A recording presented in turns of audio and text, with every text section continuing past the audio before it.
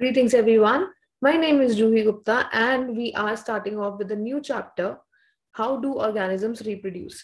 So, um, इसमें हम अलग अलग सेक्शंस में अलग अलग चीज़ों की बात करेंगे बेसिक दो टाइप्स ऑफ़ रिप्रोडक्शन पढ़ेंगे जिसमें एक होगा सेक्सुअल जिसमें दो तरीके के पेरेंट्स या दो तरीके के गैमीट्स रिप्रोडक्टिव सेल्स इन्वॉल्व होते हैं और एक पढ़ेंगे एसेक्सुअल जिसमें सिंगल पेरेंट से काम चल जाता है so let's start and let's see कि हमें किस तरीके से like will try to go in a flow एक डायरेक्शन को फॉलो करने की कोशिश करेंगे ताकि things get in to a good story so before we discuss about कि ए सेक्शुअल रिप्रोडक्शन क्या होता है और सेक्शुअल रिप्रोडक्शन क्या होता है, सबसे पहले एक क्वेश्चन को आंसर करते हैं which M highlighting on the screen why do organisms reproduce आपके अकॉर्डिंग ऐसा क्या है जिसकी वजह से we need to reproduce so जैसे आप देख सकते हो नॉर्मल सी बात है कि we are very complex organisms humans बहुत कॉम्प्लेक्स होते हैं राइट right? जैसे आई एम मेकिंग वन इस ह्यूमन के केस में डिफरेंट ऑर्गन्स हैं, उन डिफरेंट ऑर्गन्स का डिफरेंट डिफरेंट फ़ंक्शन है, और उन डिफरेंट फ़ंक्शन के लिए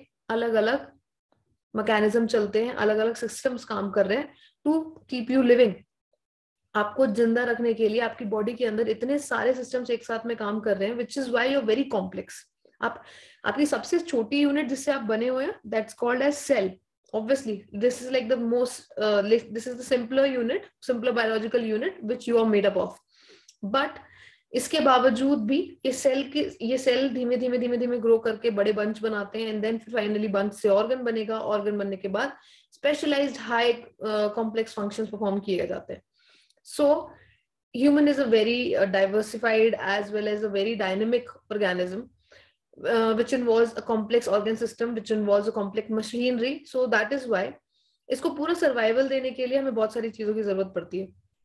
रिप्रोड्यूस करके अपने जैसे मतलब रिप्रोड्यूस करने के लिए नीड क्या है समझ में नहीं आ रहा।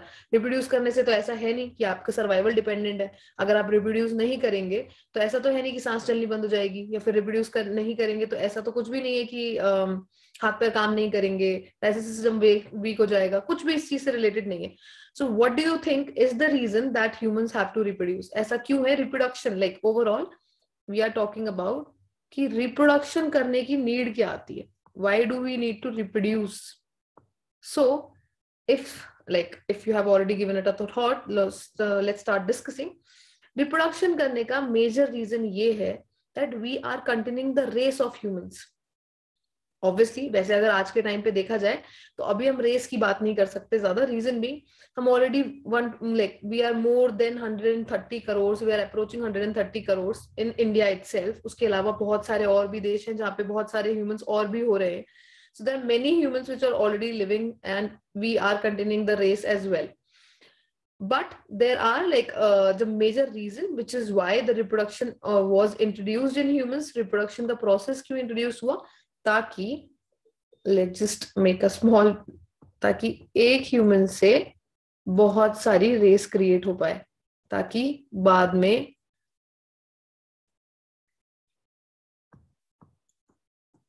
ताकि ह्यूमंस वर्ल्ड में सरवाइव करते रहें।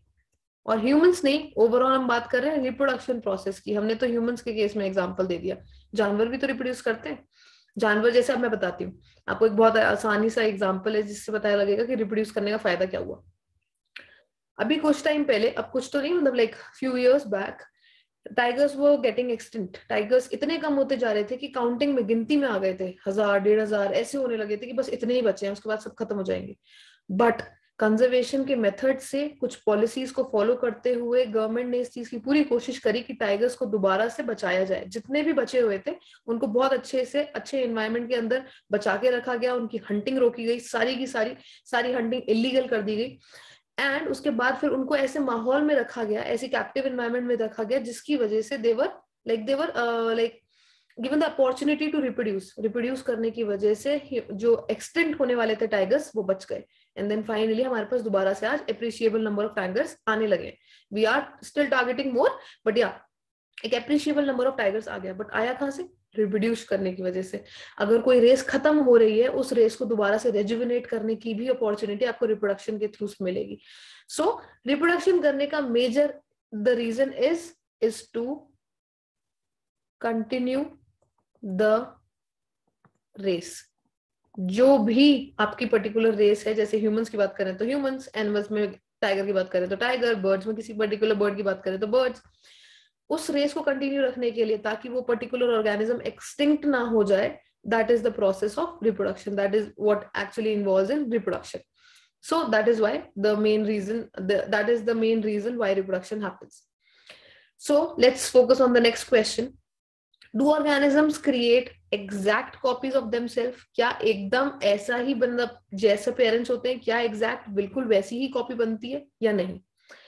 सो so, अब हम इसके ऊपर बात करते हैं कि आप अपने ऊपर सबसे पहले एक एग्ज़ाम्पल लेके देख सकते हैं ह्यूमंस वाले केस में। इतने सारे बच्चे देखे हैं आपने क्या वो बिल्कुल अपने मम्मी पापा जैसे दिखते हैं? चाहे एग्जैक्ट मतलब they can be very much similar आपने ऐसे भी एग्ज़ाम्पल देखे होंगे जिसके केस में like the the daughter is exactly like the mother the son is exactly like the father the son is very much exactly like the mother anything but उसके बावजूद भी कुछ डिफरेंसेस तो होते हैं। एकदम ऐसा तो नहीं होता ना कि बिल्कुल ही क्लोन खड़ा हुआ है। थोड़ा डिफरेंस तो आ जाता है फिर भी आ जाता है right may be the hair colour may be the eye colour may be the length of the fingers anything anything can be different so humans के केस में एकदम एग्जैक्ट कॉपीज तो नहीं क्रिएट होती है ठीक है? सो so, बाकी जानवरों का क्या हिसाब है?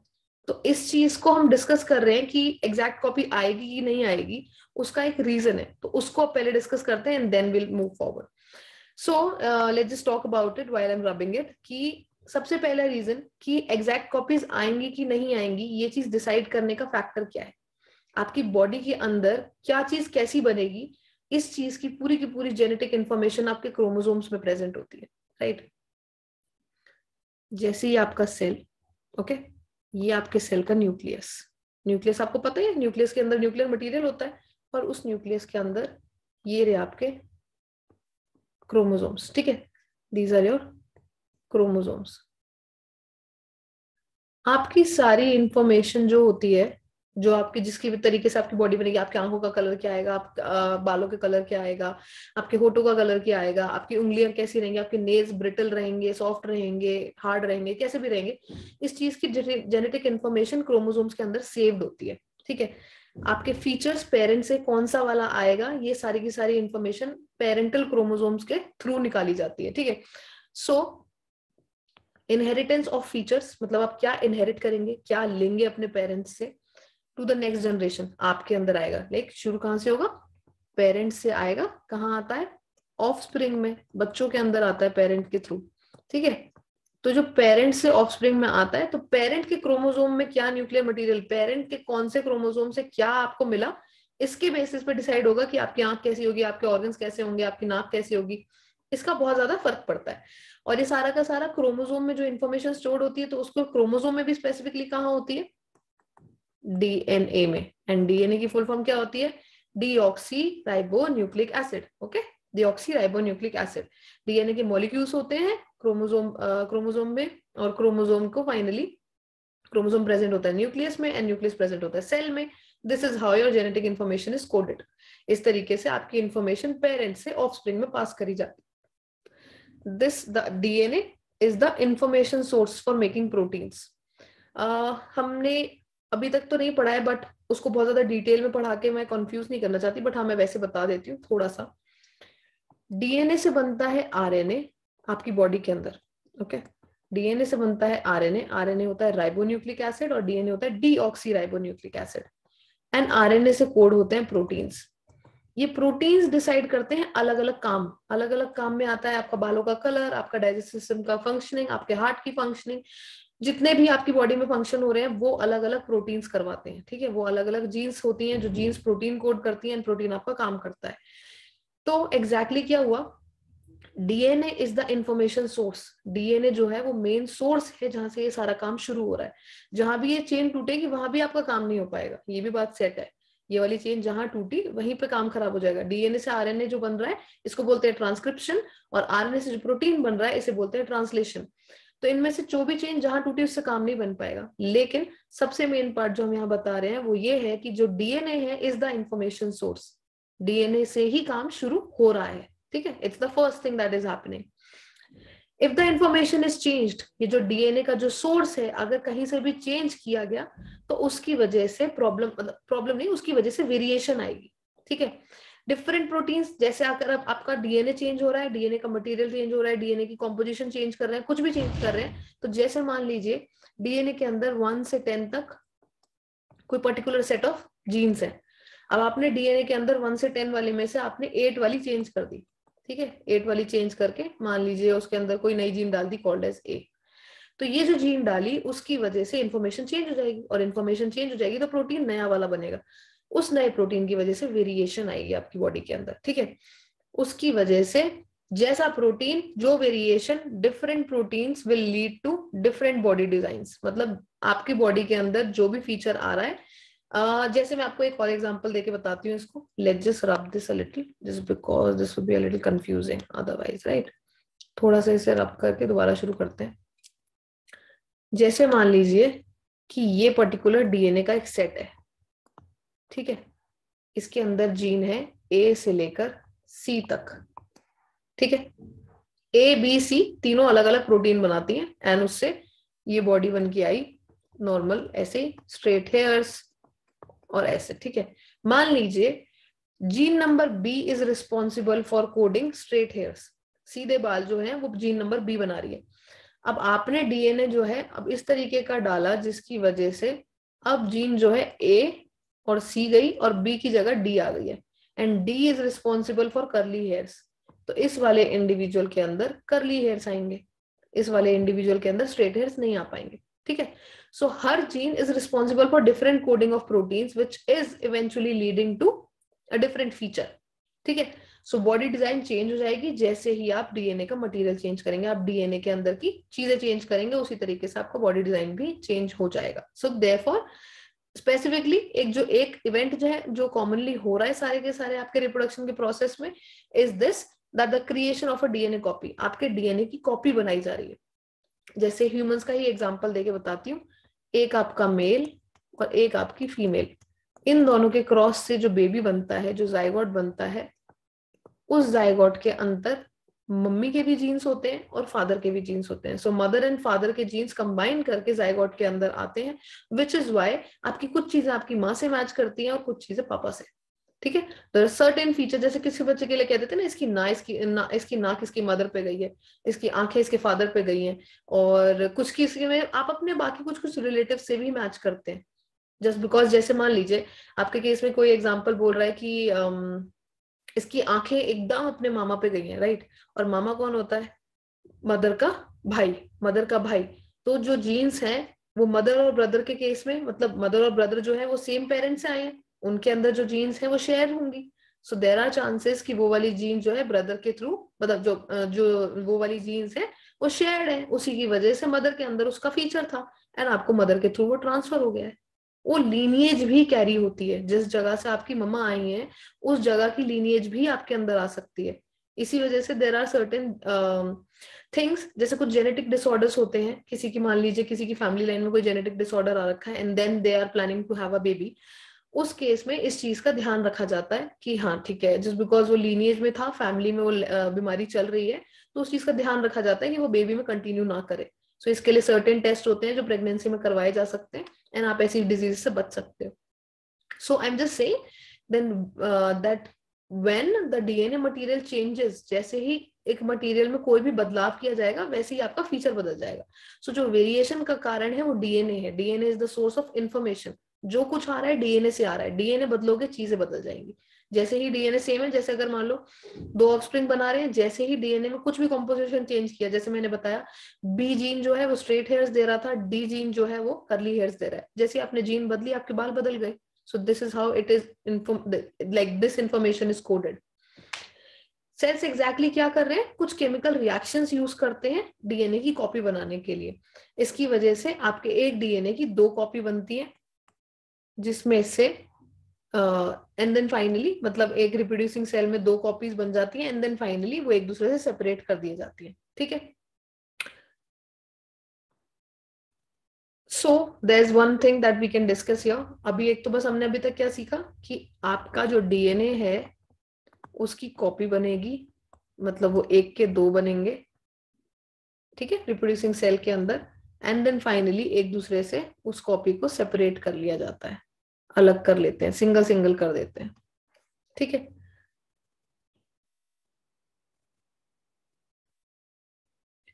एग्जैक्टली exactly क्या है? जैसे हम बताते हैं, ये आपने एक डीएनए लिया, मान लीजिए ये एक है, इसकी कॉपी बन गई है, ठीक है? तो ये दो हो गए हैं। अब सिंपली हम क्या करें? मान लीजिए कि एक सेल में हमने इसको यहाँ अलग कर दिया और एक आपने, एक मतलब एक सेल के पास तो पूरा का पूरा हमने रख लिया और दूसरा हमने जो एक कॉपी एक्स्ट्रा बनाई थी उसको बाहर निकाल के छोड़ दिया। इससे क्या होगा? इस पर्टिकुलर जो बस ऐसे डीएनए ऐसे पड़ा हुआ है इससे क्या होगा? क्या कोई इन्फॉर्मेशन जाएगी क्या आगे काम हो पाएगा? नहीं हो पाएगा। डीएनए की फंक्शनिंग न्यूक्लियस पे डिपेंडेंट है और न्यूक्लियस सारा का सारा काम करता है सेल्स के बाकी सारे ऑर्गेनिल्स के साथ मिलके। आपको सारे के सारे ऑर्गेनिल्स को काम करवाना पड़ेगा। राइबोसोम भी काम करेंगे माइटोकॉन्ड्रिया भी काम करेगी गोल्जी कॉम्प्लेक्स भी काम करेगा। इस सारे के सारे ऑर्गन्स एक साथ काम करते हैं। सो so, सिर्फ़ ऐसा नहीं कर सकते कि दो कॉपीज बनाई डीएनए की, एक तो सेल ने अपने पास रखी ली और दूसरी को छोड़ दिया।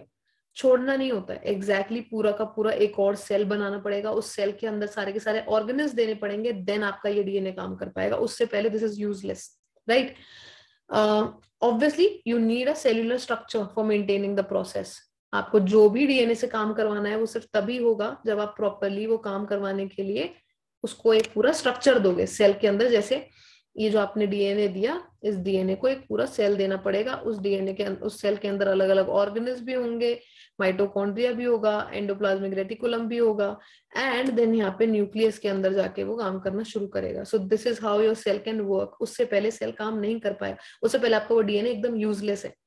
So this is also required so DNA copying जब डीएनए की कॉपी बना रहे होते हैं, जब डीएनए का एक से दो बना रहे होते हैं, बच्चे के लिए मतलब आगे पुश करने के लिए उस टाइम पे आपके सेल के भी सारे कंपोनेंट्स रेडी किए जाते हैं, ठीक है? सारा का सेल पूरा का पूरा अपरेटस बनाया जाता है एंड देन डीएनए कॉपीज अलग हो जाती है एंड देन फाइनली आपका अपरेटस मतलब सब कुछ बांट दिया जाता है। सो so एग्जैक्टली exactly हुआ क्या?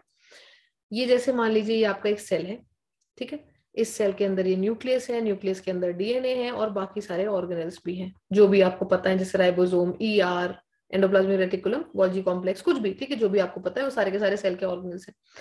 अब जब ये रिप्रोडक्शन करता है तो रिप्रोडक्शन एग्जैक्टली exactly क्या करता है?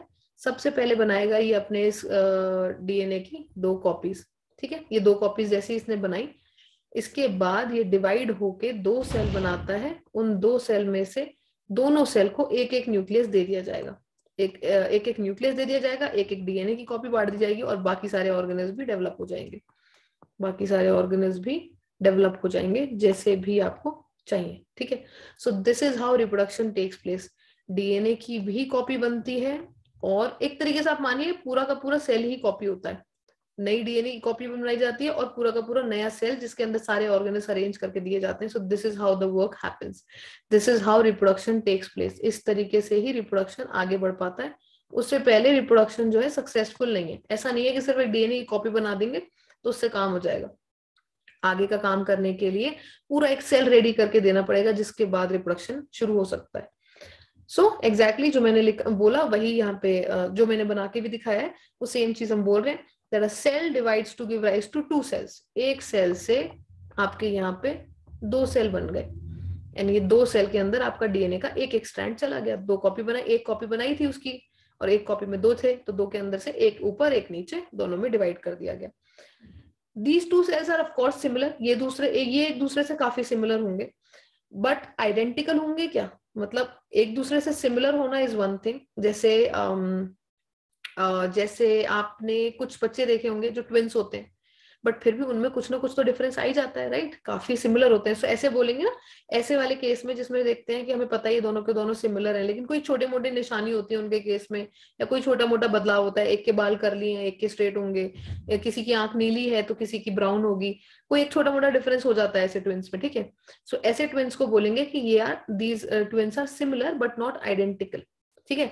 ये सिमिलर है लेकिन आइडेंटिकल नहीं है। आइडेंटिकल होता है एग्जैक्ट कॉपी एक दूसरे का बिल्कुल मैचिंग करता हुआ सब कुछ, ठीक है? सो एग्जैक्ट कॉपी नहीं हो पाते। सो आंसर डिपेंड करता है इस केस में कि मतलब एग्जैक्ट कॉपी होंगे कि नहीं। हम क्वेश्चन पूछ रहे हैं कि ये जो हमने सेल्स बनाए अभी एक से दो तो क्या वो एकदम एग्जैक्ट कॉपी होंगे? आंसर इस पे डिपेंड करता है कितनी अच्छी कॉपी कर पाए हम, ठीक है? और एग्जैक्टली exactly एक पूरा बायोकेमिकल रिएक्शन के थ्रू ये सारा का सारा काम होता है तो ये एग्जैक्टली exactly पूरा रिलायबल नहीं है।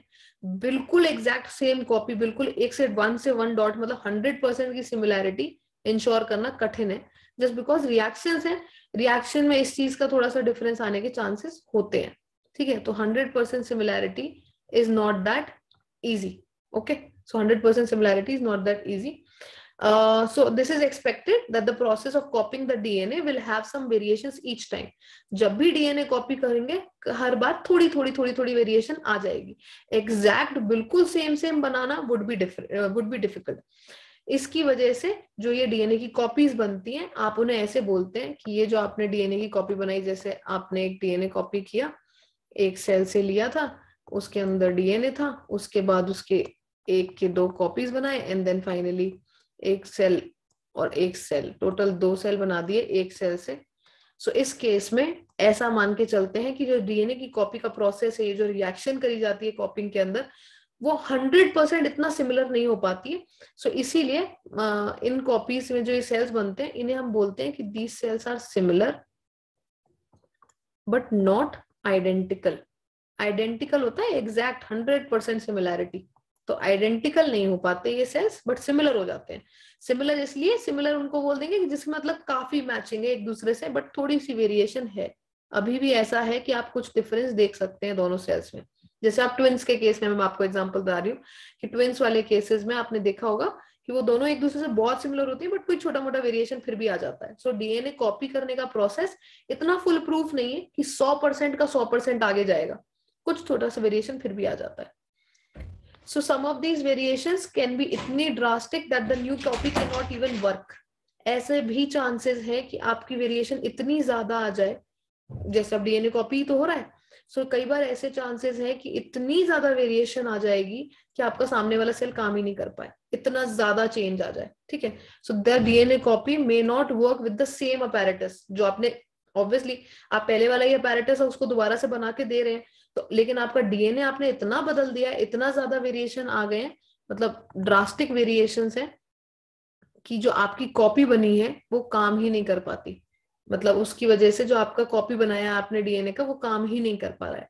So that is a little problem वाला कंडीशन ठीक है? Such a newborn cell will simply die अगर इतनी वेरिएशन आ गई है कि वो उस मशीनरी के अंदर रहते हुए, जैसे अब आपका वेरिएशन आ गया, लेकिन आपका सेल तो वही था। आपने एंडोप्लाज्मिक रेटिकुलम राइबोसोम्स और बाकी सारी चीज़ें तो सेम ही दी थी। इतना ज़्यादा ड्रास्टिक चेंज था कि ये इस सेल में सर्वाइव ही नहीं कर पाएगा। तो ऐसे केस में when the variations are highly drastic then the cell will die eventually die option कोई और नहीं बचता है इट विल डाई बट कुछ वेरिएशंस फिर भी ऐसी होती हैं which are not that drastic इतना बड़ा कोई बहुत बड़ा चेंज नहीं आएगा। एंड जिसकी वजह से ऐसा ड्रास्टिक आउटकम नहीं आता है। This will not lead to such a drastic outcome the, which is why the surviving cells would be similar but at the same time different variation आया है बट बहुत ड्रास्टिक नहीं आया है। Not drastic under control variation है। So so उसके case में cell नहीं मरेगा। सेल उस मशीनरी को कोप अप कर लेता है और उसके साथ फ़ंक्शन करना सीख जाता है। एंड धीमे धीमे ऐसा भी मतलब ये ही रीजन है जिसकी वजह से ह्यूमन रेस इतनी अलग अलग होती है। आप आप आप किसी से भी अपने आप को कंपेयर कर लीजिए, कितना डिफरेंस होता है ना हर चीज़ में, बोलने में, चालने में, उसके अलावा आपके फीचर्स में, आपके फंक्शनिंग में, आपके नेचर में, बहुत सारी चीज़ें, बहुत सारी चीज़ें यहाँ से कंट्रोल होकर काम चल रही है। So all of these variation जब तक विद इन कंट्रोल है, जब तक आपके अंदर की जो वेरिएशन आई है, वो बहुत ड्रास्टिक नहीं है। पेरेंटल सेल से तो आप सरवाइव कर जाते हैं। अदरवाइज़ जो है वो सेल डेड कर जाता है अगर बहुत अंधाधुंध वेरिएशन आ जाती है। So when the variation are coming regularly human race में रेगुलरली वेरिएशन आए जा रही है so this is the tendency to accept the variation humans humans या फिर किसी के केस में भी जिसके केस में रिप्रोडक्शन uh, हो रहा है so we develop the acceptance property as well acceptance आ जाता है and then we accept these variation which are coming through us and this is the basis for evolution जैसे जैसे, अब देखिए एवोल्यूशन को क्या बोलेंगे? एवोल्यूशन क्या? हमारी बॉडी रेगुलरली चेंज होती रहती है। रेगुलरली हमारी ह्यूमन रेस में डिफरेंसेस आ रहे हैं। जैसे, एक छोटा सा एग्ज़ाम्पल बताती हूँ। ह्यूमंस जो है, उनके अंदर आपने कभी सुना होगा टोटल टीथ कितने होते हैं? दांत कितने होते हैं?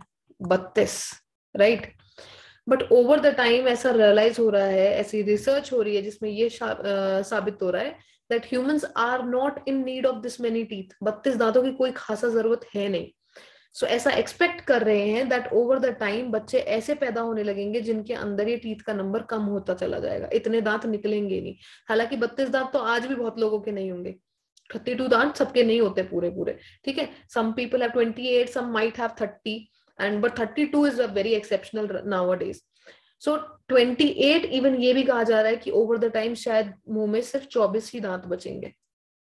So this is called as evolution जिस चीज़ की ज़रूरत नहीं है, वो बॉडी से हटती चली जाएगी। This is called as evolution नए बच्चों में ऐसा होगा। आपके केस में नहीं होगा कि ठीक है ऑलरेडी आपके दांत है एवोल्यूशन हो रहा है, आपके भी दांत गिर जाएँगे। ऐसा नहीं। The new baby which is coming off उसके केस में ऐसा एवोल्यूशन फॉलो होता चला जाएगा।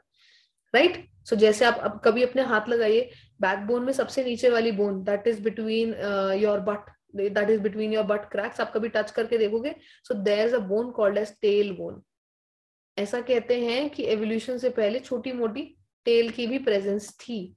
सो टेल बोन उसको बोलते हैं इसलिए वहाँ पे टर्मिनेट होती है वो. सो so, ऐसा बोलते हैं। किसी किसी बच्चे के अंदर ये म्यूटेशन भी देखी गई है कि उसके अंदर आज भी एक बार को पूछ निकली हुई हो छोटी सी। So these are just all the different parts of variation, all the different reasons for evolution. So yeah, we are going to cover the rest in the next chapter. I'm sorry, in the next section called as the importance of variation. Variation आने की जरूरत क्या है हम एक दूसरे से अलग होने की क्या जरूरत है सब सेम एक दूसरे एक दूसरे के क्लोन्स बन सकते हैं कोई परेशानी नहीं है so that is what we are going to discuss in the next lecture that why do we need to evaluate. Why do we need to accept these variations? जो बॉडी के अंदर डीएनए की कॉपी एकदम exact copy नहीं बन पाती है, जिसकी वजह से थोड़ा सा बदलाव आ जाता है। तो ये बदलाव आ क्यों रहा है? ऐसे हो सकता है भगवान ने सिस्टम बनाया है तो सिस्टम के अकॉर्डिंग ऐसा भी हो सकता था कि हंड्रेड परसेंट सिमिलैरिटी आती सब में। इतना एफिशिएंट प्रोसेस होता कि हर बार ही हंड्रेड परसेंट आता। So what is the need for this variation ऐसा बॉडी क्यों बनाया गया है जिसकी वजह से वेरिएशन आती ही आती है? डीएनए की कॉपी हंड्रेड परसेंट एफिशियंट क्यों नहीं है? इस तरीके से क्यों बनाया गया है? So there is a reason copy इसलिए कॉपी इसलिए अच्छी नहीं है क्योंकि वेरिएशन लानी है ठीक है? अलग लाना है कुछ अंतर लाना है बट वो वेरिएशन लाने की नीड क्या है? उसके बिना भी काम चल सकता है right so we are going to discuss about this in the next lecture that what is the need for this variation and we will continue forward um, if you have any doubts we are just starting off with this new chapter so you definitely can shoot upon the doubts in the comment box. And let's begin with the new one in the next one. Thank you. Have a great day